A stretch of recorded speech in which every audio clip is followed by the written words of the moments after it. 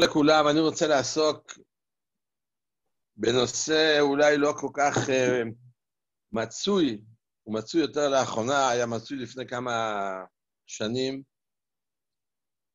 מה הדין של אבן מהכותל המערבי שנפלה? מה מותר, מה אסור, לטלטל אותה, להשתמש בה, ליהנות ממנה. השאלה הזו נושקת לעוד שאלה שהיא יותר מציאותית. יש חנויות תכשיטים שכותבות, מפרסמות, שהם מוכרים תכשיטים מהר הבית. דנו, יש תכשיט, בתוך... אה, מושכן שם ביחד עם, התחש... עם, ה... עם ה... האבן או משהו, עוד איזה חילוקי אבנים קטנים מהר הבית. והם קוראים לזה תכשיטים מהר הבית. האם מותר להשתמש בזה? מאיפה לוקחים את חילוקי האבנים האלו? הר הבית הרי הוא גדול מאוד. חלק מהר הבית זה השטח של המקדש עצמו, העזרה. מעבר לעזרה יש גם את המרחב של הר הבית עד הכותל המערבי. אותו שאלה, אני מביא עוד דוגמה, החפירות שעושים בהר הבית, הישמעאלים, ולוקחים את האבנים ואת העפר, שופכים אותו למקום מסוים, ויש אנשים שבודקים בכל, ה... בכל החומר הזה, שמה שהערבים שופכים, אם יש שם אולי חרס, אולי יש שם איזה דברים עתיקים שהיו פעם בהר הבית, מותר להשתמש, אסור להשתמש. יש פה שאלה שמבחינת העפר שמוצא מהר הבית הוא יותר מציאותי. הנושא של האבן מהכותל הוא לא שאלה שהיא קיימת כל הזמן, אבל לאחרונה, לפני שנה או יותר, נפל אבן באותו מתחם שנקרא בטעות עזרת ישראל. היא מונחת שם עד היום, וצריך לדעת, לתת את הדעת. מה עושים? ממה מורכב בכלל הצדדים האלה ההלכתיים? יש פה שתי שאלות הלכתיות לפחות. שאלה אחת, האם בכלל יש דין מעילה באבני הכותל? שאלה שנייה, יש גמרא בעבודה זרה בדף נ"ב, שהגמרא לומדת מהפסוק, ובאו בפריצים וחיללוה, שברגע שהגויים נכנסו למקדש, אז המקום נתחלל מהקדושה שלו. גזירת הכתוב, מבאו בה פריצים וחיללוה. אמנם יש שם מחלוקת ראשונים, האם זה נתחלל מעצם העובדה שהגויים נכנסו לשם, או שהחילול הוא רק מרגע שהם השתמשו בדברים האלו. רש"י ורוב הראשונים נוקטים עצם הכניסה של הגויים.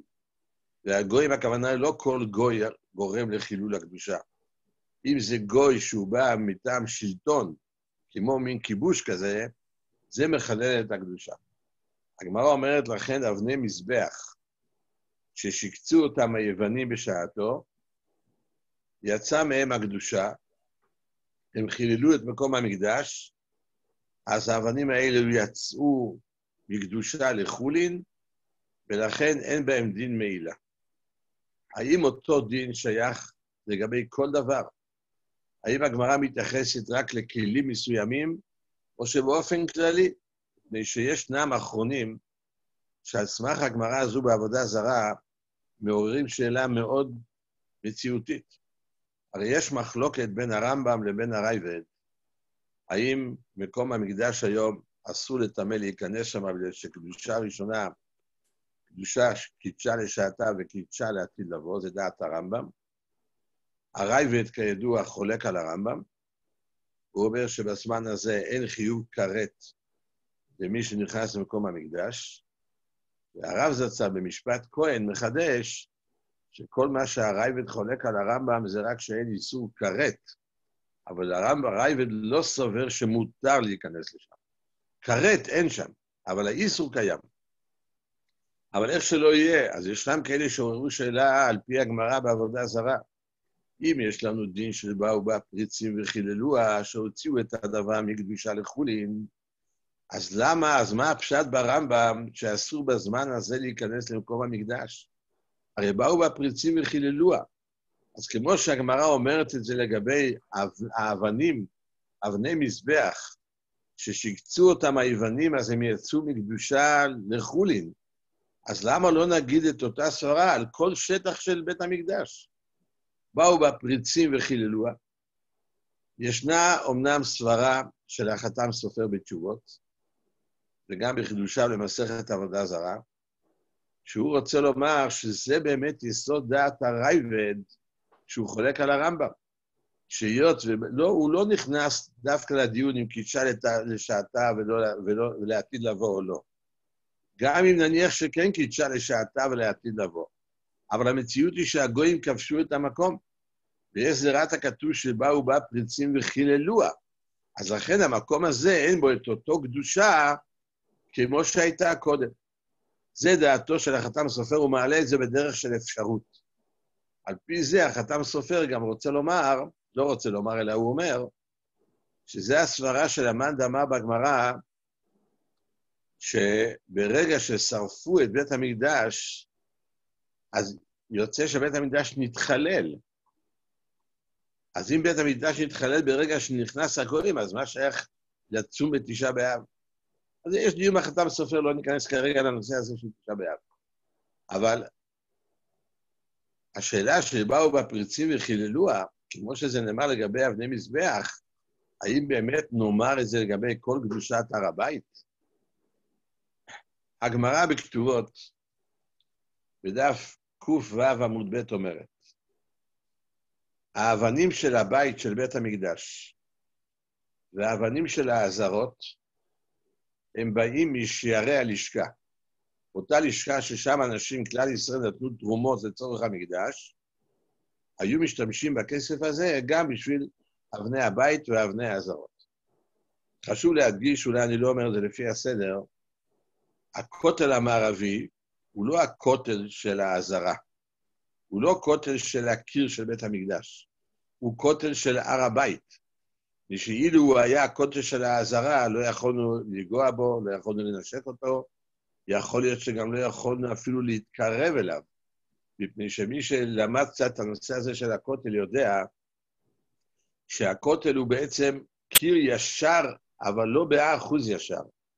יש מרחק של סנטימטר או שניים בכל שכבה של אבן. אם מסתכלים מלמעלה, והעומק של הקיר של הכותל הוא יורד למטה, עוד, למעלה מ-10 מטר, אם לא יותר, אז וכל פעם, כמה שיורדים יותר למטה, האבן בולטת יותר החוצה בממוצע בין סנטימטר לשתיים. אז אם למטה יש עוד עשר או עשרים שורות של הכותל, אז יוצא שמי שעומד היום ברחבת הכותל בעצם דורך או נשען על אבני הכותל, אילו, אילו, אילו זה היה הכותל של בית המקדש עצמו, היינו צריכים לשמור מרחק. ישנם אנשים כאלה שבאמת יחידים, שמגיעים לכותל באמת לא נכנסים לרחבה, הם עומדים מאחורה ושומרים שיש דעות שאולי זה לא כותל להר הבית, אולי זה כותל לעזרה, אז אנחנו לא יכולים להיכנס. אבל על כל פנים, משום כך יש גם פוסקים שדנים האם מותר להכניס את הידיים בין הסדקים של אבני הכותל. ידוע שרבי שועה לב דיסקין היה מחמיר, גם הרב זצ"ל היה מחמיר, לא להכניס ידיים, מפני שהגמרא אומרת, מהצד החיצוני של הקיר, פנימה, זה כבר יש לזה את הקדושה של הר הבית. הקדושה של הר הבית זה לא רק להיכנס להר הבית מעבר לכותל המערבי, אלא מהצד החיצוני של הכותל, כל הכנסה של פתק קדימה זה כניסה להר הבית. והגמרא אומרת שלא צריך, עיסוק כניסה להר הבית זה אפילו במקצת, אפילו אדם שמכניס רק את האצבע. אז זו שאלה של יש באמת הרבה אנשים שבאמת מחמירים ובצדק, לא להכניס ידיים לבין הסדקים של הכותל. יש כאלה שלא נזהרים, אבל זה היה דעתו של רבי שועה לבדיסקים ועוד uh, הרבה פוסקים שבאו אחריו. כמובן שיש דעות ש... שחולקות, יש תשובה מעניינת בתשובותיו של הרב הרצוג, היכל יצחק, כמדומני בסימן י"ח, האם מותר למי שרוצה לתקן משהו מעל אבני הכותל, לעמוד על הרוחב של אבני הכותל. בשביל צד אחד הגמרא אומרת שגגים ועליות לא נתקדשו. אם גגים ועליות לא נתקדשו, האם הגג של הכותל הוא שונה? גם עליו נגיד שגרגים ועליות לא נתקדשו. הרב הרצוג נוטה שם להחמיר, אומר לא. על זה לא אומרים גרגים ועליות לא נתקדשו, שזה גוף הכותל. גוף הכותל, אתה לא יכול להגיד שבגוף הכותל אני לא יכול להשתמש, לא יכול לגעת, אבל במה שנמצא, אם אני נמצא עליו ויושב עליו וכדומה, זה יהיה מותר. טוב, נחזור לעניין שלנו. הגמרא בכתובות אומרת, אבני הבית והאזהרות באים משערי הלשכה. ובקידושין בדף נ"ד יש מחלוקת רב מאיר ורב יהודה, האם יש דין מעילה במה שבנו משערי הלשכה. רבי מאיר סובר שיש בזה דין מעילה, אבל רבי יהודה אומר שאין בזה דין מעילה, וככה פסק הרמב"ם בהלכות מעילה. שאין מעילה בדבר שנבנה משערי הלשכה. לפי זה יוצא שאין מעילה באבני כותל. הם קדושים, אבל אין בזה דין של מעילה. זה קדוש מפני שזה שייך להר הבית, זה שייך להקדש. אבל לא בכל דבר ששייך, מי אמר שיש שם מעילה? וככה מביא את הראייה הזו בשו"ת ציץ אליעזר בחלק י'. בא הגאון רב מוישה פיינשטיין, בעיקר מוישה חלק ד' בסימן ס"ג. הוא שואל, שברמב"ם נפסק בהלכות בית הבחירה בפרק א' הלכה ט"ו, שאבני ההיכל והעזרות, אין להם פדיון אם הם נפגמו, אי אפשר לפדות אותם, להעביר את הקדושה על משהו אחר, אלא צריכים לגנוז אותם. והרמוי ששם שואל, אבני היכל והעזרה, הכוונה היא גם על העזרה שבהר הבית, לא רק על העזרה של בית המקדש עצמו. אז שואל רמוי ש... אז למה אבני היכל ועזרות, גם של הר הבית, אין להם פדיון והם נגנזים? הרי דבר שבא משיירי לשכה, הרמב"ם פוסק שאין בזה דין של מעילה. אם אין בזה דין מעילה, אז למה, למה צריכים להיגנז? אומר המוישה חידוש גדול. אף על פי שלא מועלים בדבר שנבנה משערי הלשכה, אבל אם לקחו את שערי הלשכה ועשו ממנו דבר קדוש, היות ועשו אותו לדבר שבקדושה, אז ברגע שקבעו אותו, אז יש בזה כן דין של מעילה. לכן רמוישה נוקט, ויש עוד האחרונים שאומרים כמוהו, יש מעילה באבני הכותל. אבל מה נעשה עם הגמרא בעבודה זרה? שהגמרא בעבודה זרה אומרת, באו בה פריצים וחיללוה, אז צריכים להקדים ולומר, כשהגמרא שם מדברת על באו בה פריצים וחיללוה, לכן הגמרא אומרת שאף על פי שאין אדם מוסר דבר שאינו שלו, היה כוח בידי הגויים לטמא את הכלים שמצאו שם בטומאת עבודה זרה, מפני שברגע שהם נכנסו, הכלים האלה יצאו לחולין. אז לא שייך להגיד שם אין אדם מוסר דבר שאינו שלו. ולכן אותם הדינרים שהיו בשטח, והם היו מיוחדים לבית המקדש, כיוון שהקדושה שלהם נתחללה על ידי באו בה פריצים וחיללוה, אפשר היה להשתמש בהם. הגמרא שמה מוסיפה, שאף על פי שבאו בה פריצים וחיללוה, אבל בכל זאת להשתמש בה ממש לדבר שבחולין אי אפשר. למה? מפני שזה לא יפה. דבר שהיה קדוש, גם אם חיללו אותו, הגויים, להשתמש בו ממש לצורכי אדיוט גמור, לא משתמשים. זה הגמרא יוצאת מנקודה בסיסית בלי חולק. יש שם מחלוקת בין הרמב"ן לבין בעל המאור. בעל המאור אומר שבאו הפריצים וחיללוה, זה מקביל לדין מעילה. כמו שדין מעילה, כשאדם מועל בדבר של הקדש, אז הדבר יוצא לחולין. אז אותו דבר הגמרא אומרת, באו בפריצים, אין הכוונה על פריצים גויים, אלא מדובר על פריצים ישראלים שחיללו את המקום. מפני שדין מעילה זה רק כשזה בא על ידי ישראל ולא על ידי גוי.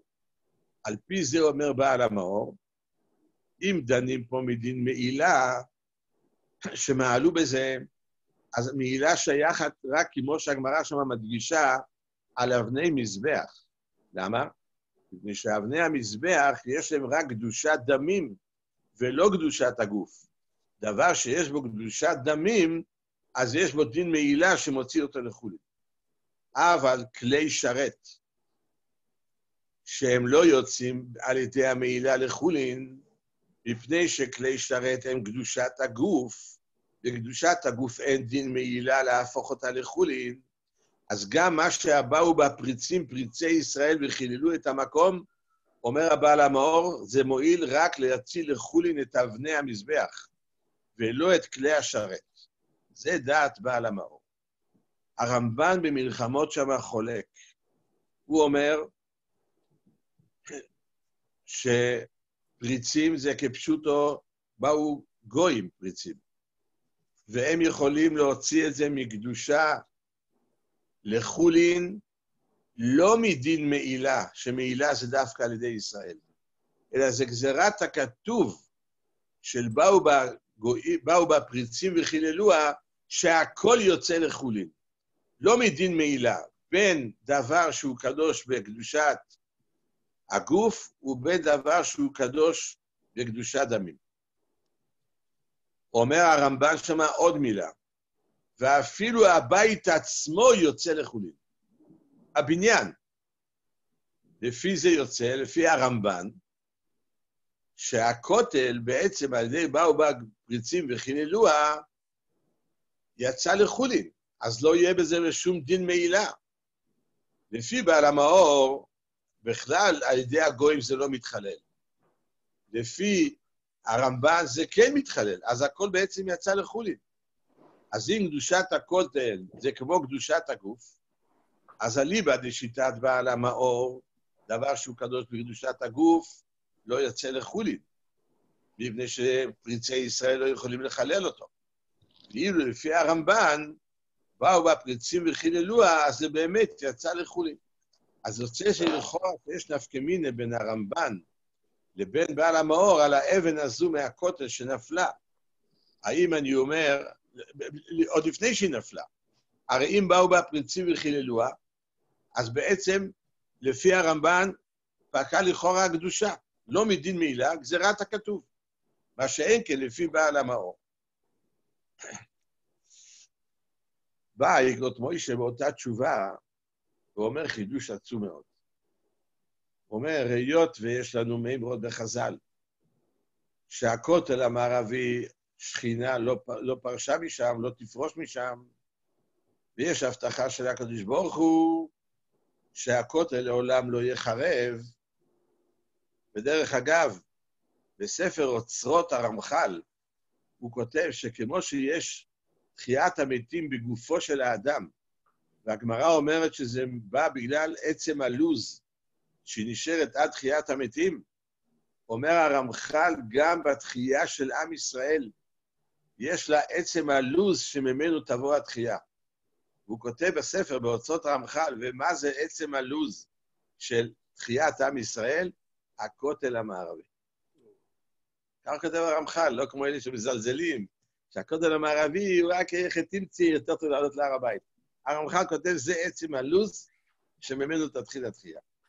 כל פנים, ממילא אומר המוישה, גם אם נאמר שהיה צריך להיות הדין שם איזה מעילה, אז, אבל הכותל המערבי לא נעשה ברשותם של הפריצים, מפני שיש הבטחה ששכינה לא שרה, לא, לא שרה ממנו, יש הבטחה שהכותל לא יחרב לעולם, אז ממילא הכותל המערבי הוא כאילו יחידה בפני עצמה.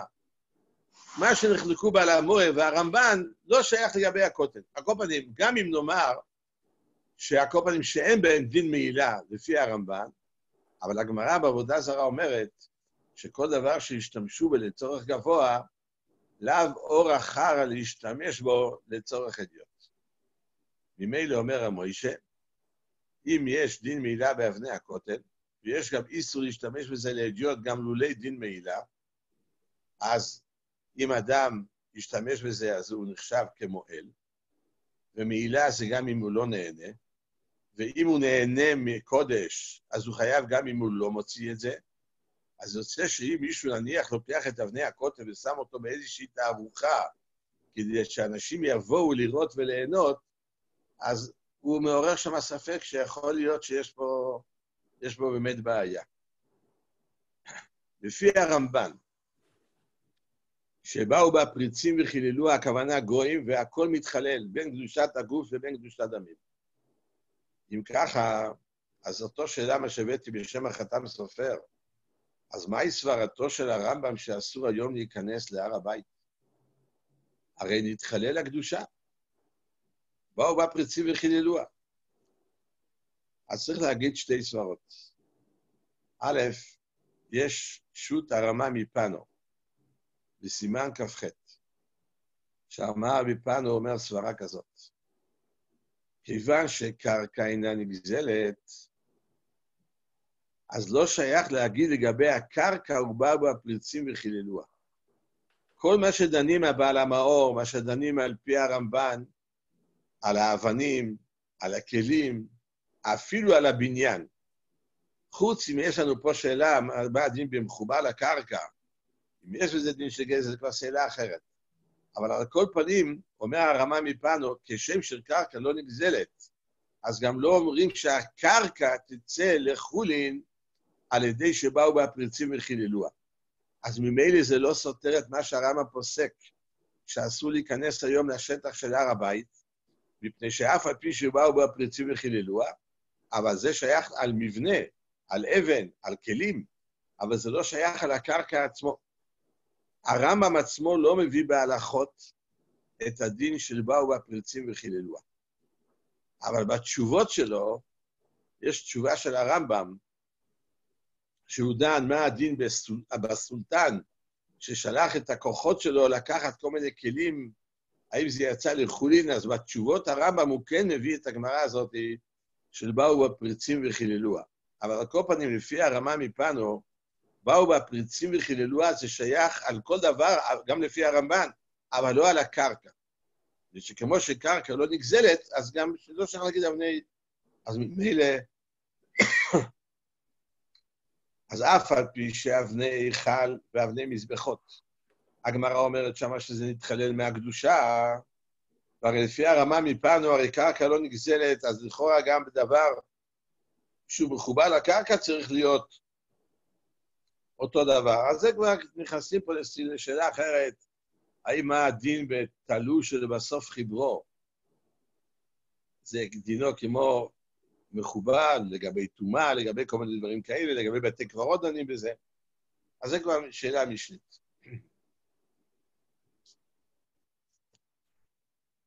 יש תשובה של אבי מורי בשו"ת מנחת אברהם בחלק ג' סימן י"ח. שאלו אותו גם לגבי השאלה הזאת, על האבן שנפלה. אז הוא אמנם לא הולך בדרכו של רמוישה, הוא אומר כך,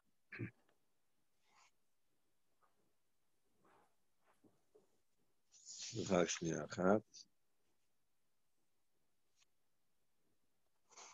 הרמב"ם לא הביא כלל את ההלכה הזאת של באו בפריצים וחיללוה. אז בישלמה לפי שיטת בעל המאור, שכל מה שבאו בפריצים וחיללוה זה מדין מעילה.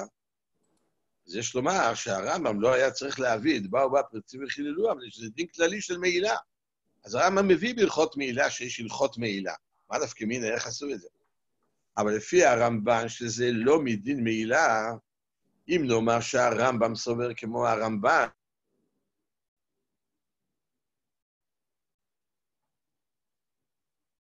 הרמב"ם לא מביא את הדין הזה, זו גמרא מפורשת.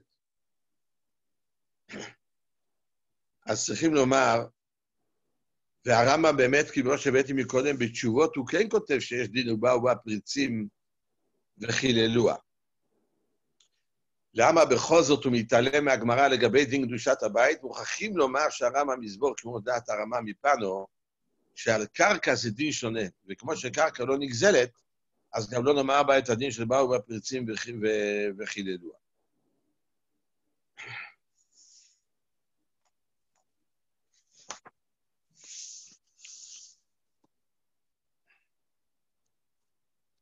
על כל פנים, והתשובה הזו של אבי, הוא מביא שיטה מאוד מאוד מחודשת. בשו"ת בס יצחוק, שרבי יצחק שמלקיס, הוא כותב שכל דין שבאו בה פריצים וחיללוה, זה רק בזמן שבאמת הגויים עדיין נמצאים בשליטה בשטח. אבל ברגע שהגויים עזבו את המקום, אז באופן אוטומט פקע וחיללו שנעשה על ידי הפריצים, והקדושה חוזרת. זה חידוש עצום, של בעל שו"ת בית יצחוק, באורח חיים בסימן כ"ז. בעצם, לפי מה שהוא אומר, הוא משווה את זה בעצם לדין כיבוש. כמו שיש דין כיבוש מלחמה, אז כותב הדבר אברהם בחלק א', בסימן כ"ו כמדומני, שכיבוש מלחמה זה רק כל עוד שהכיבוש קיים. ברגע שאין כיבוש, אז פקע, פקע הקניין הזה. אותה סברה אומר רבי סיצחוק. ובאו בה פריצים וחיללוה ליבא דשיטת הרמב"ן. זה כמו דין כיבוש, זה כל עוד שהגויים באמת נמצאים שם, אז המקום מחולל ועומד.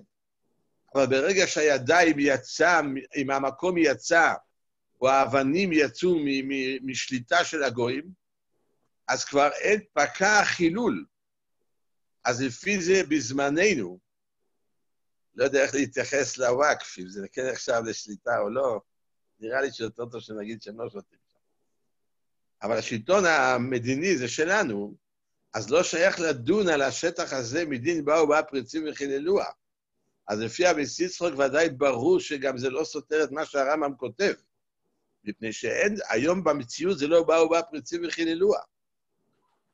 גם אם לא נגיד ככה, יש לנו, כמו שאמרנו מקודם, מדעתו של הרמה מפנו, שלגבי קדושת קרקע, אנחנו לא, לא אומרים את זה.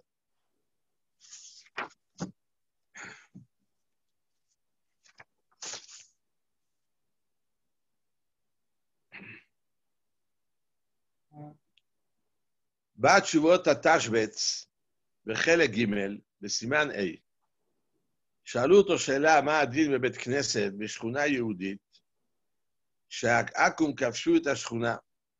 ואחר כך השכונה חזרה לידיים של ישראל. כותב התשבץ בחלק ג' שכיוון שנכנסו עכו"ם הופקעה קדושתו, משום ובאו בה פריצים וחיללוה.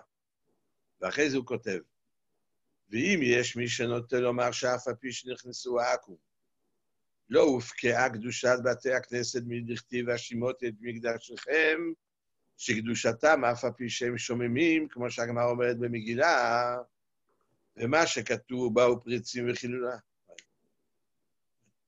ומה שכתוב באו בה פריצים וחיללוה, שמשמע לכאורה שהכהנים כן זכו בה, אומר התשבץ, זה גזירת הכתוב הייתה במקדש ראשון ובאבני מזבח, מפני שהפקירו מישראל, ואין זה עניין לבתי כנסיות. אחר כך הוא אומר שהמלך שכבש את המקום בכל זאת זכה בהם מדינא דמלכותא. אז כל מה שהתשבץ אומר זה שייך רק לגבי בתי כנסת.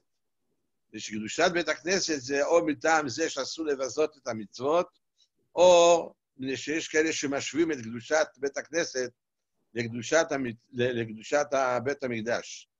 אבל לגבי בית המקדש בירושלים, לא שייך לומר אפילו את האבמינא של הסברה הזו של התשבץ. זאת אומרת, שא', שזה לא גרע מכל קדושת בית הכנסת, שלא פקע גם כשהם שוממים.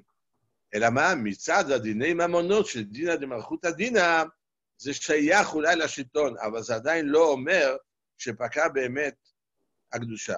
על פי זה אבי פסק שהאבנים שבשטח, ספק אם הם אבני היכל או אבני עזרת כהנים, ספק אם זה מעזרת נשים או חומת הר הבית, לכן האבנים של המקדש שנפגמו טעונים גניזה, השימוש שעשו בהם בזמן הכיבוש המוסלמי ששיבצו במסגד, זה לא מעלה ולא מוריד, ואסור להשתמש גם באבנים האלה, וצריכים להשאיר מקום מיוחד כדי לגנוז את האבנים האלה. זה נכון לגבי האבנים, או שהם מהר הבית, או שהם מאבני מזבח, או שהם מאבנים של הבניין. שאלה נוספת שקשורה לנושא הזה, זה מה נעשה לגבי האפר שלוקחים מהר הבית. מה, מה הבעיה? סליחה, רק שנייה אחת.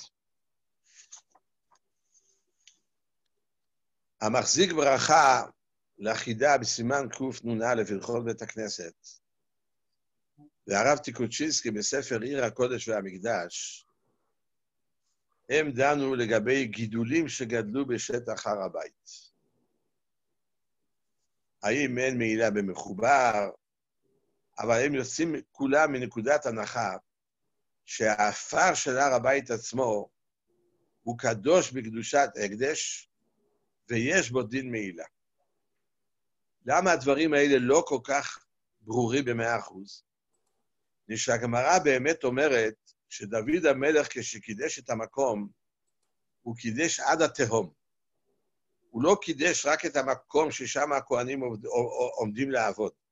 הוא קידש עד התהום. אבל זה הגמרא אומרת לגבי קדושת העזרה. מי אמר שקדושה עד התהום היא תהיה גם בקדושת הר הבית? יש את העזרה, את המקום של שטח של המבנה של בית המקדש, אבל שטח הר הבית שגם הוא קדוש, אבל מי אמר ששם יש את הקדושה גם עד התהום? אולי כל מה שדוד המלך קידש, שהגמרא אומרת עד התהום, זה רק בשטח של העזרה, של, של הבית עצמו. רב חיים הלוי, בהלכות בית הבחירה, הוא כותב הפוך. הוא אומר ככה, קדושת העזרה זה רק קדושת מקום. הראיה, שכתוב בפרשת השבוע, בפרשת ראה, המקום אשר יבחר השם. ממילא הוא רוצה לומר ככה, הגמרא בזרחים בדף כ"ד דנה, מה הדין עם האבן שעליה הכהן צריך לעמוד לעבוד, היא נעקרה ממקומה. היא, לא מחוב... היא נמצאת, אבל היא לא מחוברת לקרקע שמתחתיה. האם הוא יכול, הכהן, לעמוד על האבן הזו כדי לעבוד את העבודה של המקדש, או שחסר המקום אשר יבחר השם? מה הבעיה? אומרת הגמרא, הבעיה היא, האם מה שקידש דוד זה רק את הרצפה העליונה, או דילמה עד להרית תהומה הוא קדש. אחרי זה אומרת הגמרא, לעולם פשיטא ליה שהוא קידש עד, עד תהום. וכל הבעיה היא שכהן שעובד על רצפה שלא מחוברת, זה לא דרך שירות. אם זה לא דרך שירות, אז אולי לכן הוא לא יכול לעבוד בצורה כזאת. והגמרא נשארת בתיקו. אומר רב חיים, מדובר באבן שלא מחוברת, אבל היא נמצאת במקום עצמה. על זה הגמרא מתכוונת לשאול. אם נאמר שקדושת הר הבית זה רק קדושת המקום בלבד, אז מסתבר לומר שהקדושה חלה על האבן רק בזמן שהיא מחוברת למקום.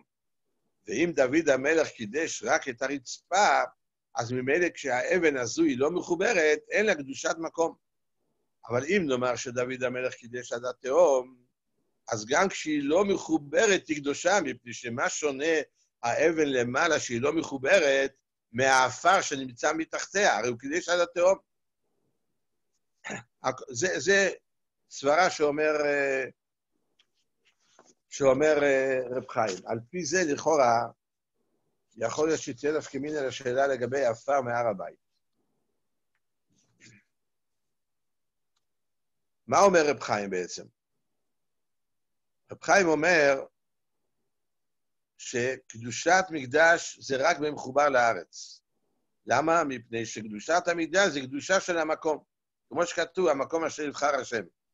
רק אם אני אומר שדוד המלך קידש עד התהום, אז ממילא מתקשרת, האבן הזו כשירה לעבוד עליה, מפני שזה לא נחשב לחציצה. אז קדושת האזהרה. האם אפשר לומר את הסברה הזאת גם לגבי דין מעילה? שמעילה זה יהיה רק במקום ורק בדבר, רק ברצפה העליונה של הבית, או שהיות והגמרא אומרת שדוד המלך קידש עד התהום, אז הכוונה היא שדוד המלך קידש עד התהום, יוצא ש... סליחה, אני אגיד את זה בצורה אחרת. לקחת עפר לא מהר הבית, אלא ממקום שעמד המקדש, כן? העפר, שיש צד לומר שיהיה בזה דין מעילה, רק אם דוד המלך קידש עד התהום. אז כמו שרב חיים רוצה לומר, שלגבי עבודת הכהן, על זה הגמרא אומרת שאם הוא קידש עד התהום, אז גם אם הוא עומד למעלה על אבן שאיננה מחוברת, זה לא גרם ממה שנמצא עד התהום. אבל אם צריך קדושת מקום ממש, אז צריך שהאבן תהיה מחוברת. אז הגמרא דנה לגבי, לא לגבי מעילה, לגבי העבודה. אני אומר, לכאורה יש מקום לדון באפר הזה, שלוקחים מהר הבית, אז זה כמו אבן שהיא זזה מהמקום והיא לא מחוברת. האם אותה סברה נגיד גם לגבי דין שלא יהיה מעילה באפר שחופרים בתוך הר הבית, מפני שהאם גם לגבי זה אני אומר שדוד קידש עד התהום. יכול להיות שדוד המלך קידש עד התהום לגבי קדושת מקום, שזה נוגע לגבי העבודה של הכהן. אבל מי אמר שבאמת זה יועיל? אבל מי אמר שבאמת זה יועיל לגבי, אה, לגבי דין של אה, מעילה?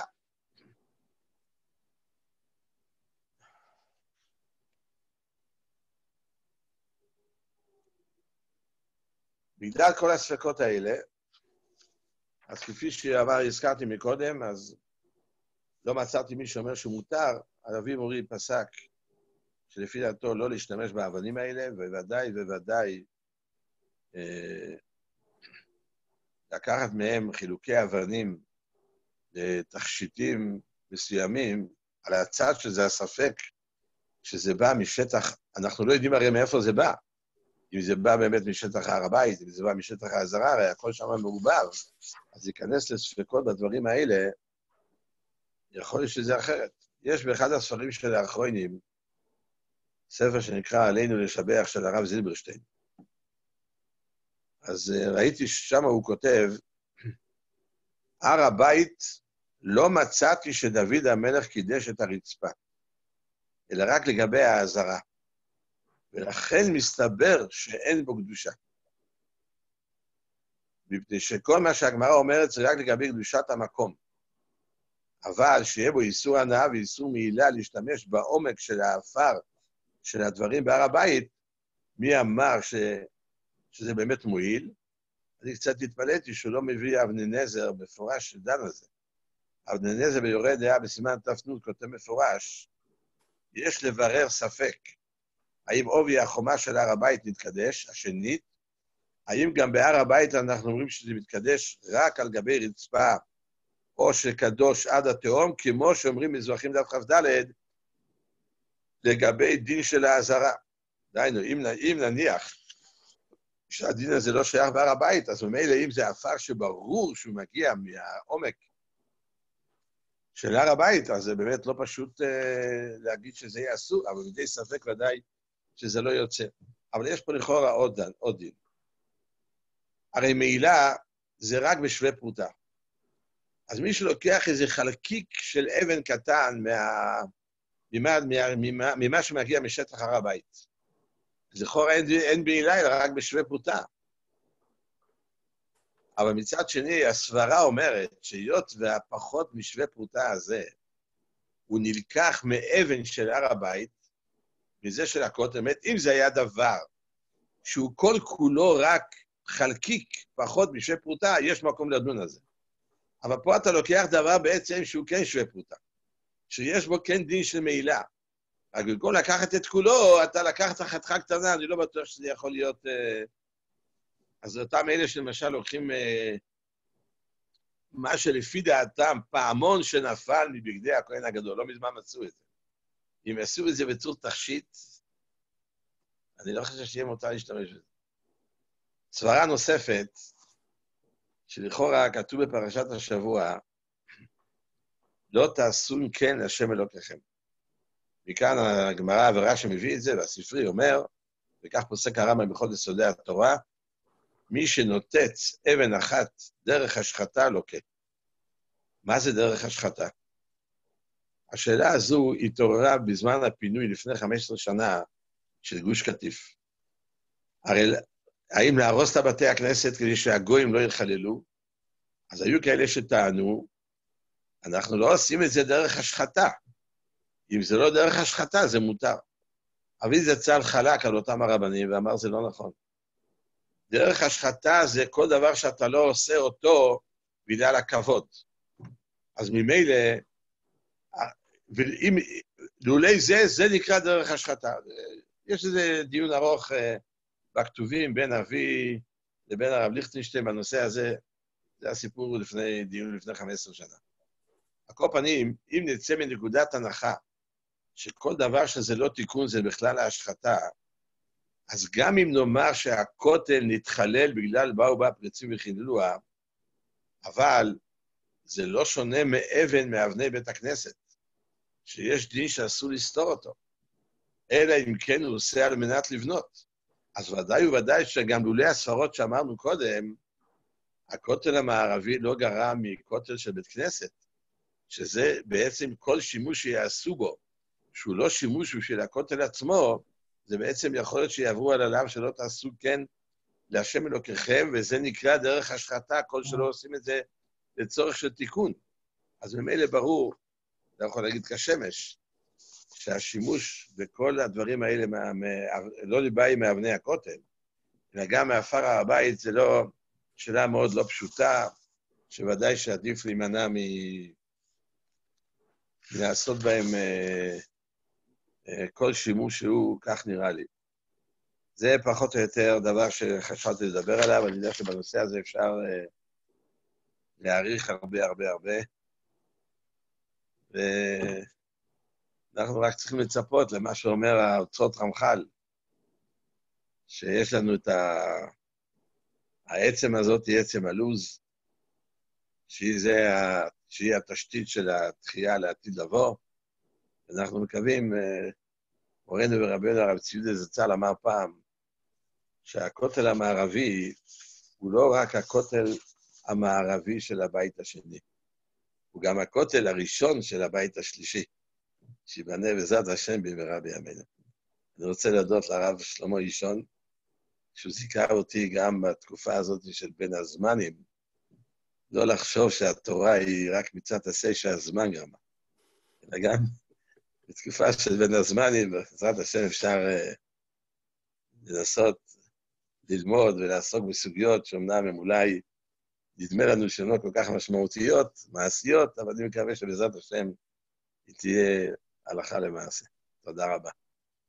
תודה רבה לרב על השיעור המרתק. אנחנו כבר ברכנו חודש אלול, אז זו הזדמנות גם לאחל לרב שתהיה שנה טובה ובריאה. אפשר לשאול שאלה את הרב? אפשר לשאול שאלה? תנסה. יש, אה, ישבתי פעם בבני ברק בין כמה חכמים שם, ואחד מהם אמר שאיזה אחד מהם לקח אה, מהעצים שגדלים על, על, על הכותל המערבי, הוא אומר שזה סגולה לקחת משם איזה ענף.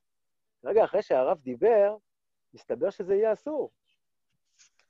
יש על זה דיון בספר מקדש מלך של הרב פרנק, וגם בספר ארץ ישראל, עיר הקודש והמקדש של הרב טיקוצ'ינסקי.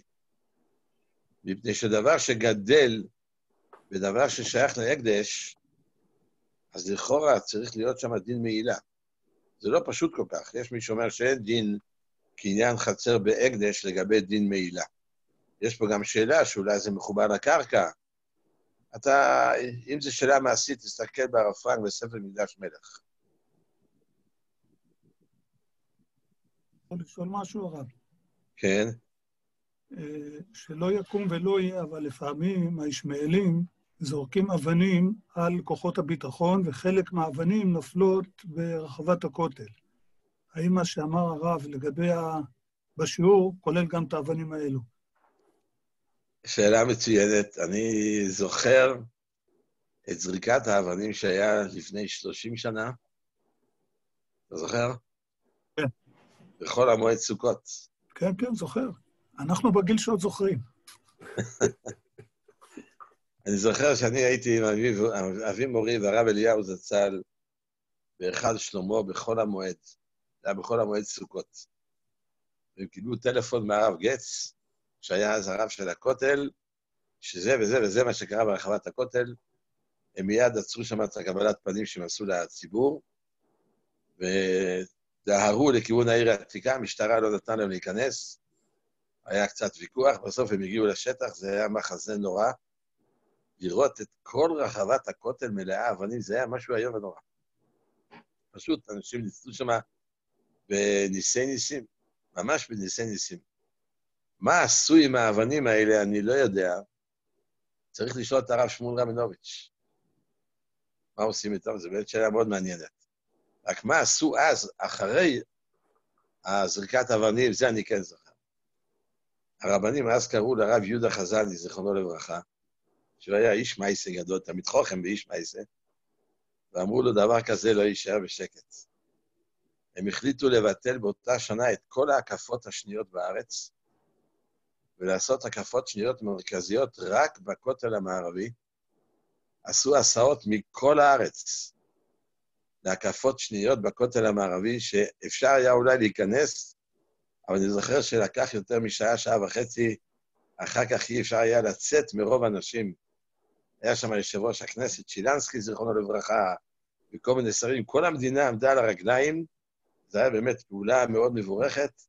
אני זוכר את זה עד היום, כמו שאתה אמרת, בגיל שעוד אפשר לזכור, שעשו הקפות שניות, ממש אלפים של אנשים. הרב אליהו, לפני שהתחילו את ההקפות, הוא ביקש את המיקרופון, הוא אמר, רבותיי, היות ומדובר פה בהקפות שניות, אני מבקש לשמור על קדושת הכותל, וגם אלה שנמצאים ברחבה העליונה, למעלה, שייזהרו ולא יעשו ריקודים, אלא רק בהפרדה גמורה. וכך זה היה, באמת, זה נמשך הרבה זמן, עד אמצע הלילה, וזה היה נפלא ביותר. על מה שאתה שאלת, אין לי תשובה.